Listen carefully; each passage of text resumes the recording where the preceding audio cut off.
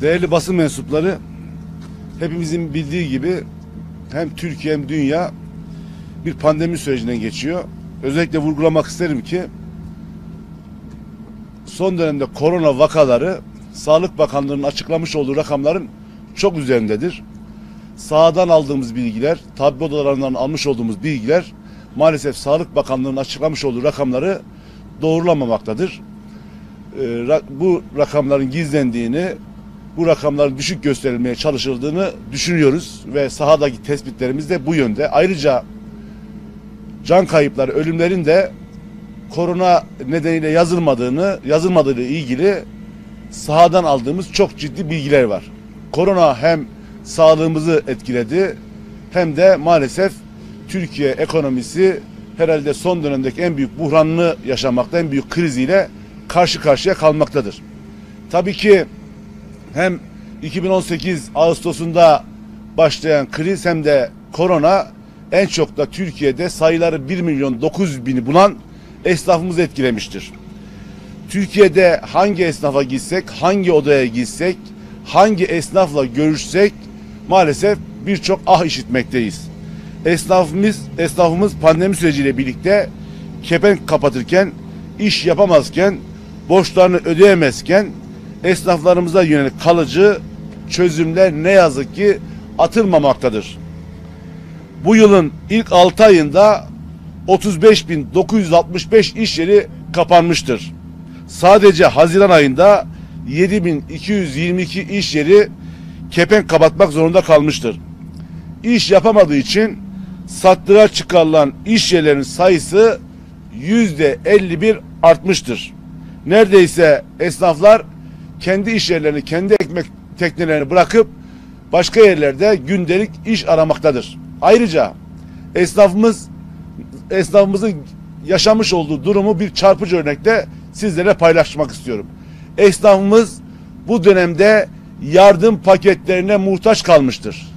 Belediyelerimize, sosyal dayanışma kurumlarına esnafımız gıda paketi talebinde bulunmaktadır. Esnafımız bu durumu daha önce hiç yaşamamıştır. Maalesef esnaf gıda paketine, yardım paketlerine muhtaç kalmıştır. Yani esnafımız yoksullukla baş başadır.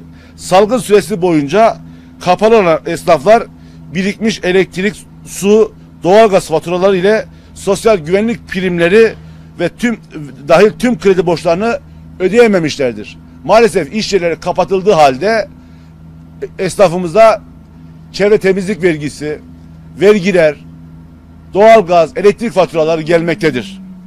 Biz Cumhuriyet Halk Partisi olarak en başında bu borçların karşılıksız olarak ertelenmesini, silinmesini istemiştik ama maalesef bu talebimiz karşılanmadı. Her bir esnafa 25 bin TL karşılığında yüzde 4 faizle geri ödemeli borç verildi. Biz CHP olarak maalesef bu durumun yeterli olmadığını vurguladık. Ve maalesef yine esnafa karşılıksız kredi verilmesi talebimiz de yerine getirilmedi. Verilen 25 bin liralık krediler, kredi borçları maalesef esnafın, esnafın birçoğuna erişemedi.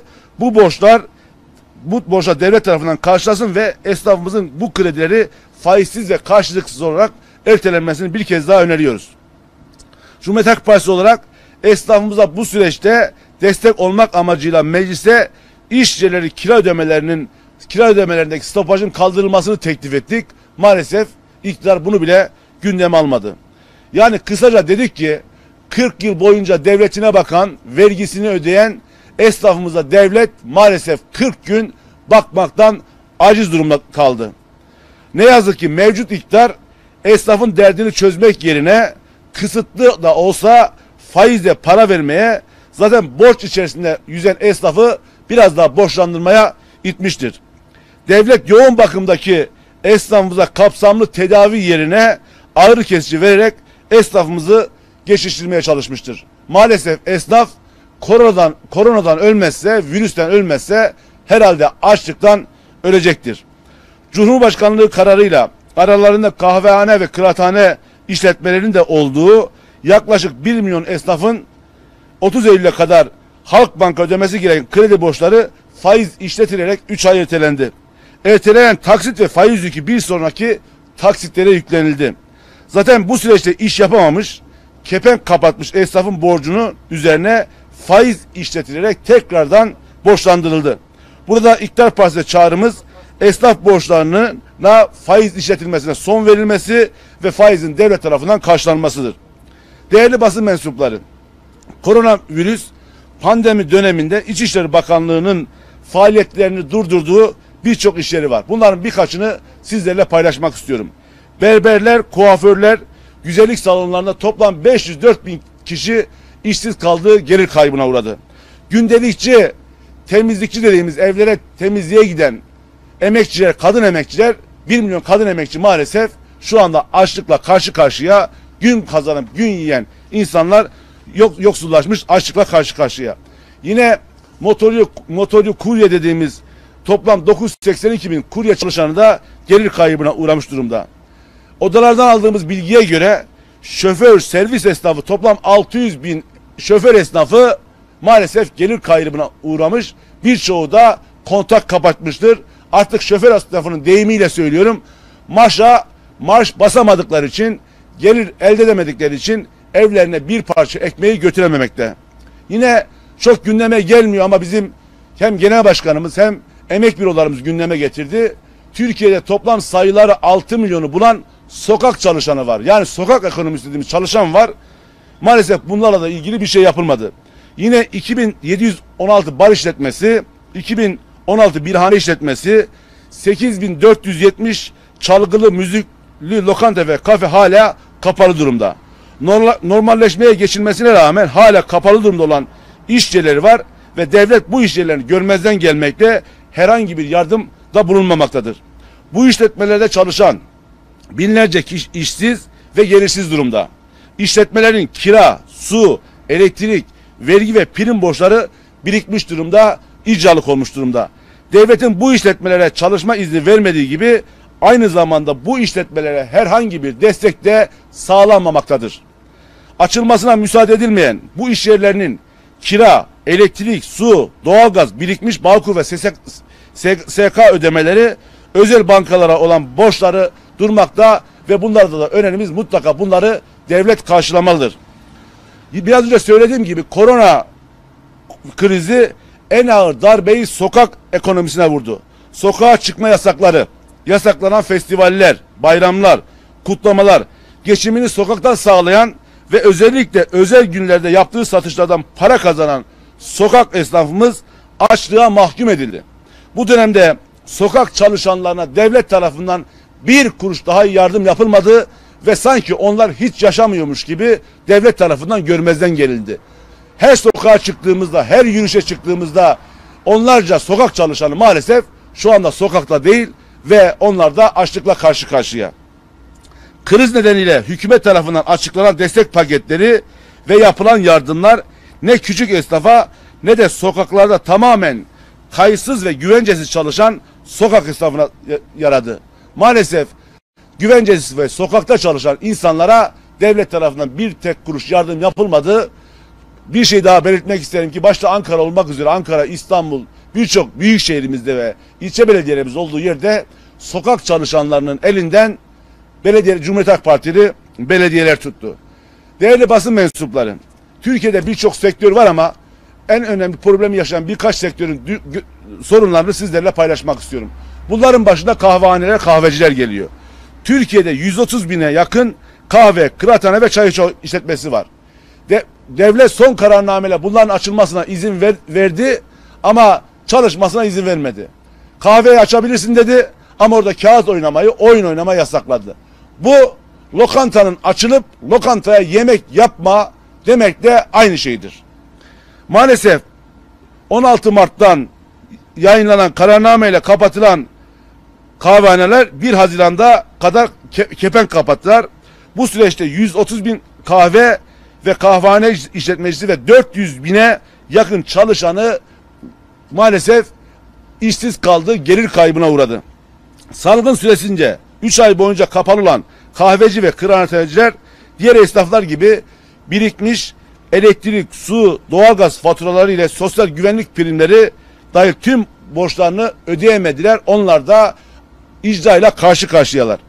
Normalleşme süreciyle birlikte kahvecilerimiz dükkanlarını tekrar açtılar ama sorunlar şu an hala devam etmektedir. Maalesef dükkanlar açık ama dükkanlarına bir tane müşteri gelmemektedir. Türkiye genelinde bütün iş yerleri normalleşirken kahveler, kahvehanelerde okey, tavla, oyun kağıdı oynatılmamaktadır. Kahvehanelerde oyunların serbest bırak- bırakılması kahvehane esnafının en önemli talepleri arasındadır. Kahve, kahvecilerimiz diyor ki gerekli hijyen ve sağlık koşullarını sosyal mesafeyi sağlayarak sağlamakla yükümlüyüz. En azından oyunların oynanması için gerekli hijyen koşullarını sağlamamıza izin verilsinler, evlerimize ekmek götürelim diyorlar. Değerli basın mensupları, Covid-19 nedeniyle 6 aydır eğitim ve öğretime ara verilmiştir. 31 Ağustos'ta başlayacağı ilan edilen yüz yüze eğitim ve öğretim sezonu daha sonra 21 Eylül tarihine ertelenmiştir. Okulların kapalı kaldığı sürece içerisinde kırtasiye esnafı, kantinciler ve okul servisi işletmecileri çok zor günler geçirmektedir. Okulların açılması ile ilgili yaşanan belirsizlikler bu üç sektörümüzü olumsuz etkilemekte. Hem esnafın hem de sektörde çalışanların mağduriyetini artarak devam ettirmektedir. Yine bu sorunları yaşayan bir grup var ki kırtasiyeciler Türkiye genelinde yaklaşık en az 20 bin kitap ve kırtasiyeci esnafı destek beklemektedir. Kırtasiyeciler stokladıkları ürün satamadıkları halde ödemelerini yapmak zorunda bırakılmıştır. Vergi, kira, kira, kredi gibi ödemeleri de kırtasiyeciler zor durumdadır. Sektöre yönelik acil tedbirler alınmazsa kitap ve kırtasiyeciler tükenme noktasına gelecektir. Kırtasiyeciler iş yerini açtılar ama iş yapamadık, yapamadılar ve dolayısıyla kazanç elde edemediler. Devlet devlet kırtasiye sektörüne sıfır, sıfır faizli uzun vadeli kredi ve destekler vermelidir. Ayrıca bir çağrımız da şudur. Yurttaşlarımız bu süreçte kırtasiye esnafını desteklemelidir. Kitap ve kırtasiyeci esnafı zor durumdadır. Esnaf ve sanatkarlar bu toplumun kara gün dostudur. Okul alışverişlerimizi mahalle kırtasiyecilerimizden yaparak esnafımızın bu zor günlerine destek olmak zorundayız. Milliliği yer, dilinden düşürmeyen, yerliliği dilinden düşürmeyenlere de buradan bir çağrı yapmak istiyorum. Kırtasiyecileri, esnafımızı çok uluslu yabancı sermayeli, yabancı sermayeli zincir ma- marketlerin, zincir mağazaların insafına bırakılmayın. Eğer yerli ve milliyseniz kırtasiyeci esnafımızı destekleyin ve zincir marketlerde, büyük ma- marketlerde kırtasiye gibi ürünlerin satılmasını yasaklayın. Yine bir diğer sorun okul kantinciler, değerli basın mensupları, okul kantincileri bu süreçte çok mağdur olmuş diğer bir kesimdir. Devlet okulları, özel okullar, üniversiteler ve yurtlar olmak üzere en az 300 bine yakın kişi bu sektörden geçimini sağlamakta, ekmek parasını kazanmaktadır. Kantinci esnafımız 6 aydır iş yapamamakta, geçimini sağlayamamaktadır. Bu işletmelerimizin devletin verdiği 25 bin liralık kredilerden yararlanamadığı gibi Milli Eğitim Bakanlığı tarafından da herhangi bir destek alamamıştır. Kantinciler şu anda salgın nedeniyle biriken iş yeri ve ev kirasını, elektrik ve doğalgaz vergi gibi ücreti, Bağkur primlerini ödeyemez durumdadır. Kantin kiralarına bir, süre, bir yıl süreyle artış yapılmaması ve kira indirimine gidilmesi taleplerine rağmen bazı kantin kiralarına yüzde yüze yakın zam yapılmıştır. Kantinci esnafı ayakta kalması için bir yıl süreyle devlet okul kantinlerinden kira almamalıdır. Tekrar söylüyoruz. Devlete sıfır maliyeti olan okul kantinlerinden bir yıl boyunca devlet kira almamalıdır. Yine aynı sektörde ekmek yiyen okul servis işletmeleri var. Covid-19 salgını nedeniyle alınan tedbirlerin başladığı Mart ayından bu yana okul servisleri kontaklarını kapatmış ve bir nevi işsiz kalmışlardır. Türkiye'de okul servis taşımacılığı yapan 200 bin aşkın ser- servisçi bulunmaktadır. Her serviste en az bir servis rehber görevlisin. Bir şoförün çalıştığı düşünüldüğünde bu sektörde en az 400 bin kişi maalesef işsiz kalmıştır, aç kalmıştır. Servisçi esnafı onların yanlarında çalışan şoförler ile yardımcı personelin 6 aydır süren mağduriyetlerin uzaması bu kesimi daha fazla mağdur etmektedir. Servisçi esnafımıza araç sigortasını, vergisini, vize, balkur ve SSK ödemelerini ödeyemez durumdadır. 31 Ağustos tarihi olarak duyurulan daha sonra 21 Eylül tarihine ertelenen yüz yüze eğitimin başlangıç için Milli Eğitim Bankalığı tarafından taşımalı eğitim ihalelerine giren servisçilerde bir de teminat mektubu vermişlerdir. Servisçiler şu anda çalışmamakta ve bankalara teminat için faiz ödemektedirler. Servis işletmelerinin ihale için alınan temin, teminat mektupları derhal iptal edilmelidir. Kredi ve yeni servis aracı alan borçlarını ödeyemeyen servisçilere acilen devlet bankaları faizsiz yeni kredi vererek özel bankalara olan borçlarını kapatmalıdır. Servisçi esnafımızın araç sigortası, vize, bağkur, SSK ödemeleri mutlak surette ertelenmelidir. Değerli arkadaşlar, esnaflarımız, sanatkarlarımız kendi kültürümüzün olmazsa olmazıdır. Esnafımız ve sanatkarımıza destek verilmesi, güçlenmesi hepimizin önceliği olmalıdır.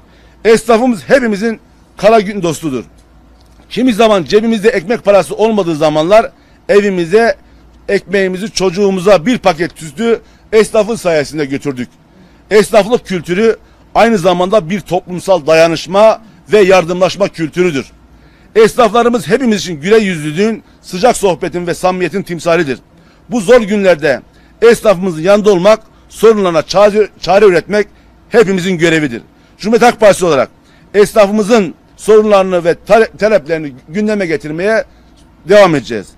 Değerli arkadaşlar, bir tarafta ahlatla şov yapanlar, bir tarafta halkın vergilerini ahlatla şov için harcayanlar, diğer tarafta açlıkla karşı karşıya kalan esnaflar.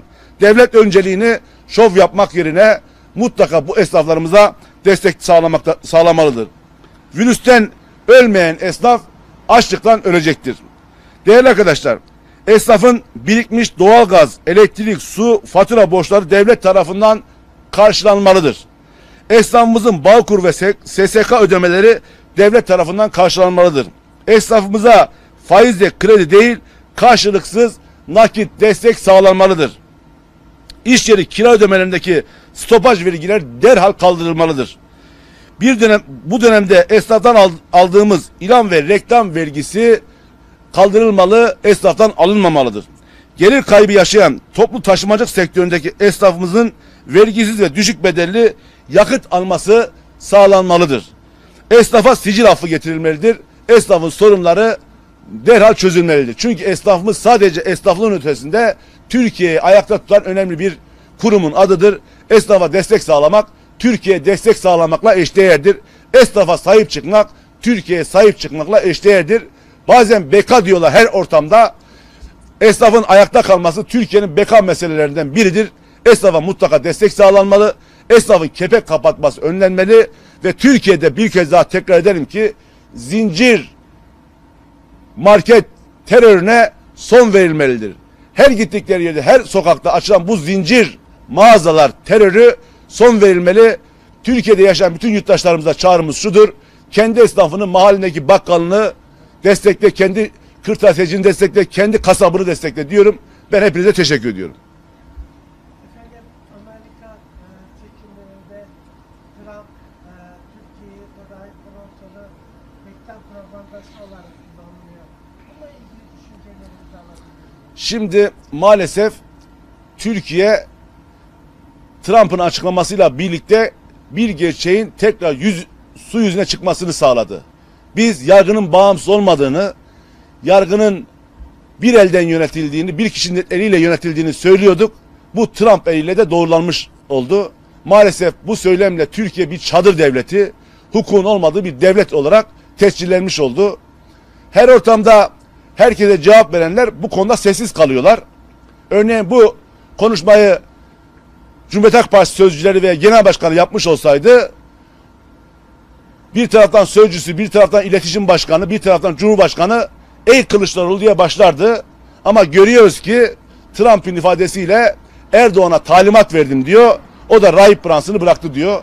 Türkiye'de daha önce söylediğimiz gibi Türkiye'de kimin cezaevine gireceğine Recep Tayyip Erdoğan kimin cezaevinden çıkacağına da maalesef başka ülkelerin liderleri karar veriyor. Bunu daha önce Almanya'da gördük. Haksızca tutuklanan Deniz Yücel'in serbest bırakılmasında gördük. Bu ten bu bedende olduğu sürece o rahip buradan çıkamayacak diyen olayda gördük. Fransız gazetecilerin buradan e, serbest bırakılmasında gördük. Maalesef Türkiye bir hukuk devleti olmaktan uzaklaşmış, sarayın emriyle yönetilen bir ülke durumuna düşmüştür.